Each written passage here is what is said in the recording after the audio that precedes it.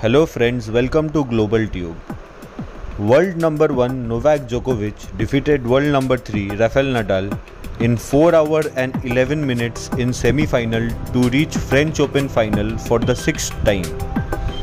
It's the first time that 13-time French Open champion Nadal lost in semi-final at the tournament.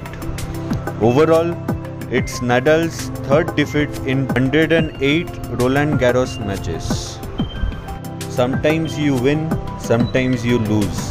Rafael Nadal summarizes his match against Novak Djokovic.